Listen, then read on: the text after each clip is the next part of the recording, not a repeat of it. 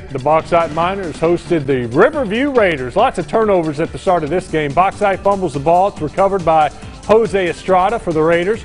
But Riverview can't seem to keep the ball or keep their hands off the ball after the snap. It's immediately fumbled. It's recovered by the Miners. Later on, Raiders brought down for the sack. Senior linebacker Will Duncan with the play.